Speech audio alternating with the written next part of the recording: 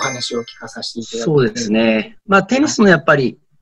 インストラクターって、こう、まだ、日本では特に世の中として、こう、そんなにか、あの、確立されてない、こうね、まだすごい、こう、うん、その仕事で大丈夫っていうような、あの、職業だと思いますよね。私も、まあ、つい最近50になったんですけども、あの、まあ、50でこの仕事をさせていただいて、あのまあ、えー、家族がいる、養ってるっていうのはすごく珍しい、あの、人間じゃないのかなって思うんですよね。やっぱりまあ、医者にしたいとか、弁護士にしたいとか、いい会社に入れたいって世の中のね、えー、お父様、お母様が思ってらっしゃるのは、まあ、安定した、こう、仕事をさせたいっていうかね、えー、だと思うけども、テニスのインストラクターって、まあ、体が壊れたらどうなっちゃうんですかと、かそういう心配事もいっぱいあって、えー、年を取ったらどうするんですかとか、うん、ことがあるから、まだまだ、こう、安定した、こうね、えー、まあ、ビッグマネーがつかめるわけでもないかもしれないし、ということで、まあ、うん、行き先は僕も本当よくわかんないんですけども、けど、そうですね、何かやっぱり、あの、先輩から受け継いだものをやっぱりしっかり引き継いで、まあ、これからも後輩にもやっぱりそういうね、えー、立場にどんどんなってってもらったり、また、まあ、テニスだけじゃなくてね、スポーツのインストラクターっていうのが、うん、まあ、世の中にもっと、ね、信頼されたり、あの、される、こうね、えー、立場になっていけたらいいかなって思いますよね。はい。いや、でも、本当、その、僕らより上の、その、やっぱ貴重な経験をされてるえー、方たちからの、やっぱりそういうメッセージっていうのは非常にやっぱ大事で、はい、そのやっぱ加藤君とも、まあ、この動画終わった後によく話すんですけど、はい、非常にあれなんですよね。やっぱこう残してってどんどんこう伝えていかないといけないものなのかなっていうのと、うん、あと早く、年齢が早ければ早くこう気づくこと、気づくその、えー、時間が早ければ早いほどまたいろんなものにこうチャレンジできて、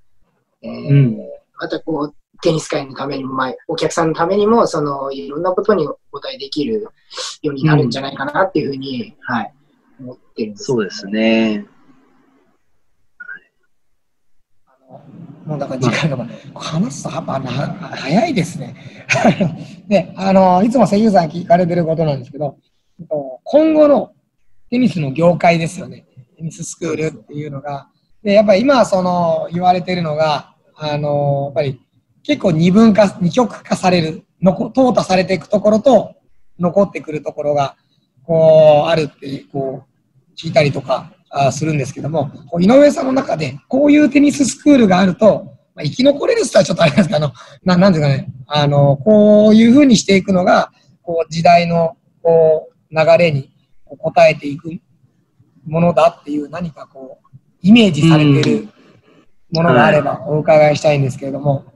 多分、あの、スポーツクラブなんかも、あの、フィットネスクラブとかもね、あの、えー、もう本当に全国にできて、すごい大型なものができて、すごい施設で、えー、お風呂もついてます、何もついてますっていうような、ね、24時間使えて、えー、インストラクターもしっかりついてます、みたいな、そういうところもありつつ、もう女性だけをターゲットにして、えー、30分だけやりましょうとか、とか、まあ24時間使っているけど、インストラクターは一切いませんよとか、えー、まあいろんな多分今スポーツクラブ、フィットネスクラブでも形態があって、うん、まあ本当にこう、何でもっていうところもあるし、その隙間を埋めるようなものもあったりする。ので、多分、まあ、今回コロナで、まあ、アウトドアである私たちは、まだ今、実は営業してるんですけども、だから、あの、アウトドアっていうのも、まあ、えー、インドア主体にインストラク、あの、テニススクールはなるだろうけれども、まだ、まあ、一部残す、えー、隙間として、えー、うまくやっていけばか、飽きるとこもあるかもしれないし、うんまあ、子供だけに特化したとこ、うん、テニススクールとかっていうのも、まあ、今現在あるだろうけれども、えー、もっと出てくるかもしれないし、またもっとシニアだけのものとか、うん、何か、あの、そういう、統合的なところもあるだろうし、おそらくその隙間を埋めるような、こう、ところもあるだろう。まあそういうところもちゃんと生き残っていけるとは思うのね。なので何かやっぱ特徴というかがやっぱりしっかりとして、ターゲットをある程度絞っていったりとか、やっていければ、いろんな多分テニススクールの形態として、まあチャンスは残ってるんじゃないのかなっていうふうには、まあそのテニス自体が、あのーなんですかね、まあテニスとかゴルフぐらいしか大人のそのスポーツの習い事なんていうのはないようなものだから、やっぱりテニスっていうのは、まあ、僕も偶然やってて、それが仕事にできちゃってるっていうのは本当にラッキーで、他のスポーツだったらできてるかどうかわからないかなとは思ってるので、まあ、テニスは今後も非常にこう手軽にできるスポーツということに変わりなくて、まあ、世界各国どこでもやってるっていうスポーツだから、まあ、ますますこう、もっと身近にはなるかなと思うんで、それをこう、どんな形態でこうやっていくのかね、まあ、競技だけではなくて、もうただ運動だけっていうのもあるし、うん。だから、まだ、まだなんかいろいろな、うん、特色持ってやれれば、いろいろいろいろ私たち、私みたいにまあ、小さくちょこっとやるっていうことぐらいだったらば、まあ、いっぱいこうビジネスチャンスというか、そういうのはあるのかなっていう気がしますよね。これ、これメモってまた僕ちょっと、レッスン、コロナ明けたらちょっと頑張ります。いやいやいや、僕本当に、いや本当にもうこの立場になっては初めて若い時のあの井上さんってすごかったんだなって、本当にもう反省し尽くしてもし尽くせないくらい、いやもう本当大変でしたですもんね。考えたらやっぱり、やっぱりこう、もう確立化された何かっていうのはやっぱりなくなってきて、ね、常にこうオリジナリティを追求するっていうのはやっぱり、で、これ僕のすごい一個、あ、ごめんなさい、まだ5分ぐらいしかないですけど、すごい一個質問で、これはもう今度行った時聞こうかなと思ったんですけど、例えば、まあ、犬沼さん、お子さんもテニスやってらっしゃると思うんです。まあ、関口さんもそうだと思うんですけど、こう、子供の時から大人になってまで、まあ、さっきなるほどなと思って、ね、確かに大人のダンススクールとか水泳教室とかって聞いたことあまりないので、まあ、テニスとゴルフっていうのは大事だと思うんですけど、僕の理想としては、ジュニアの本当にもう、ね、幼稚園ぐらいの子から、もう大人、もうおじいちゃんになって死ぬぐらいまで、もうこう、もうね、こうずっと続けてもらいたい。で、その時に、どういうふうな視点に立てば、こうまだ、まあ、永遠のテーマなんですけど、あの、や、やめずに続けていただければ、例えば週1でもいいですし、ね、週2、週3がちょっと減ってもいいんですけど、どういうことにこう、重きを置いていけば、それって達成可能な可能性が出てくるんでしょうか？うん。とね、それがまあできれば本当一番いいよね。そしたら、幼稚園生を習ってもらって、ずっとおじいちゃん、おばあちゃんになるまでね、やってもらいます。けどまあ、そのテニスのその優先順位が下がらないことじゃないのかな。やっぱり皆さん忙しくてやめられる。その、まあ、けど、テニスが本当に趣味になって大好きな方は、またそこのスクールに行くことことが大好きな方は、多分、あの、常にその優先順位が高い。忙しい中でも、いろいろやらなきゃいけないことがいくつもいくつもある中でも、常に優先順位が高いから、まあ、月1でも、まあ、まあ、最悪年、年1回でも行って、えー、テニスをしたいということになって、その無駄な費用もあるかもしれないけども、それは、あの、自分の優先順位が高いから、もったいないとは思わない。じゃないのかなと思うから、その優先順位が常に上がっていることが必要だよね。それはね。うん。確かにそうですね。その優先順位イコール、その方がやっぱ一番か今価値観を持ってるってことですもんね。そうですね。い。はい。はい。うん、確かにそうです。いやー、すみません、なんかもう忙忙しいお時間の中、あの僕らまた講義を受けてしまいました。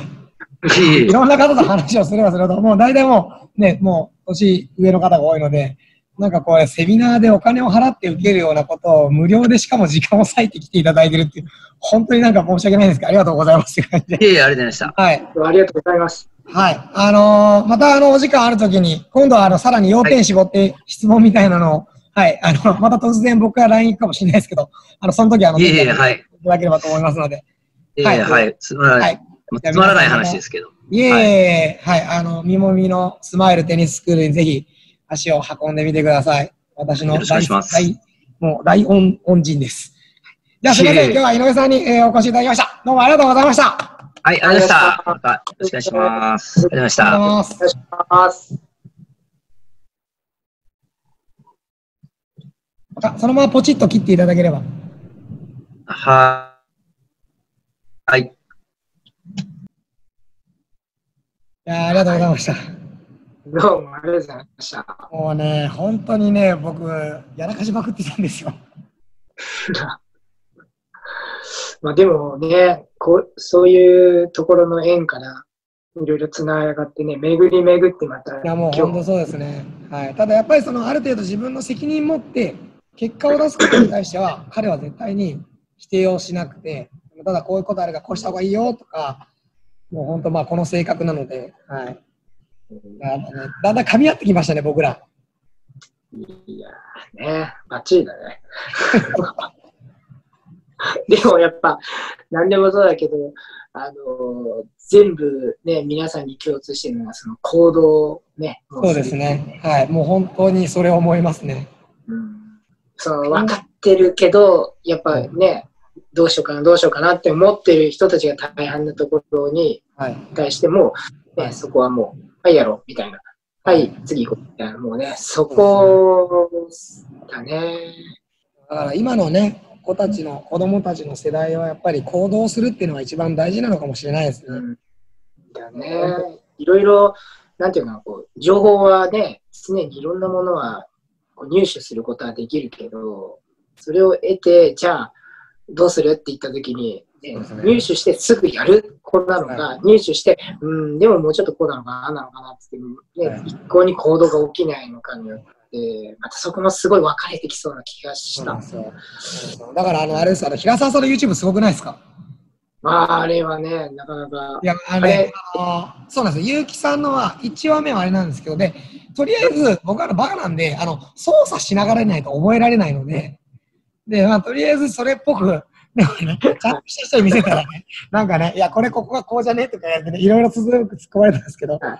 まあでもなんか、ちょっとずつでも、せっかく出ていただいてるので、初めの方にはちょっと申し訳ないんですけど、まあまあ、ちょ徐々にグレードアップをしているということで、それそれもまた、それも見てもらえてる方からしてみたら、はい。この短期間でこれだけ進化するんだっていう、はい。だからその、うん。今言った行動、はい、でただあのやっぱちゃんと編集っていうかあのソフトを使ってやってくるとだんだんこだわってきちゃってだからもうあの10分ものにしていかないとできなくなってきて。そう途中までやってね、7分くらいで切れちゃったんですよ。で、その初めの僕と関口さんの、またこのトークをそうあのおまけでつけて10分にしたっていう結城さんの2本目も、ただこだわりすぎて、やっぱりね、ご本人のこう話がうまくこうね、ごちゃごちゃするんだったら、もうテロップでポンポンってだけは、だこだわりながら、はい。またなんか、あの、あったらいい見てる、見ていただける方からしてみたらちょうどいい時間かもしれないね。こうずっと長いのそうなんですよ。明日、明日もまたダブルヘッダーでお願いします。そうですね。あと月曜日の10 12時で入れた、月曜日の12時の方は、これまた他のスクールさんなんですけど、ルネサンスさんなんですけど、700人から900人ぐらいは持ってった人で、はい。はい、僕があのバイトの連電話かけたら、あ、そのキャリアだったら、ちょっとうちあんま金出せないよとか、普通に言う、あの人数増えてても、いや、あんま無理しなくていいからっつって言いながら、影の下縁の下でもあっちこっちにこう、調整つけるような、あのでも、あのお客さん見て、下手くそっつって笑って、お客さんを引きつけられる魅力のある方です。はい。今だから、小山さんの、えっと一緒に仕事されて、小山さんの、えっとまあ、小山さんが社長だった副社長みたいな感じです。でも、それあーなるほどを言いました。いやー、あの人はすごいよっつって、そうやってこう鼻で笑ってお客さんを、でも実際はバカにしてるわけじゃないんですよ。なんかこう、本音の部分をポンって言って、引きつけられるという、その人もカリスマです。はい。で、僕はあの、大人になって、これ言っちゃ大丈夫かな。大人になって、なんかね、あの、40超えて、なんかいいことありましたか？って言ったら、もう即答で、いや、あのさ、若い時はさ、ジュニアの親御さんにも、ちゃんと理由を説明して、こうですよって言っても、理解してもらえなかったのに、なんか40超えて、なんか年上になった瞬間に、こうですよって言ったら、なんか説明しようと思ってるのに、なんか相手に納得されるって、年を取るっていうのはこういうことかなと教えられて、僕もお客さんと話すときは、まず自分のもう思ったことをポンって話して、必要あれば説明するようにするか。なんかね、人生を端的に、こう、要点を得た生き方をされている方です。もう、ちょっとね。楽しみです。はい。はい。なん関口さんね、顔がですね、真面目ぶってなんか笑っちゃうんですけど。え、なんで？でも、いやいや、こ、ここのキャラ設定がいいじゃないですか。でも絶対自分で作って笑いそうになってますよね。僕多分ね、作れないので、あの、真面目なところは真面目になるんですけど、なんか笑いそうなところは笑わないと違和感あるなと思って。はい。いや、もうまた1分切っちゃったので、また明日、はい、はい、お願いします。はい。と10時、12時からですね。はい。はい。はい、ありがとうございます。システムのやつ。はい。あ、システムな、大丈夫です。月曜ですね。大丈夫ですか？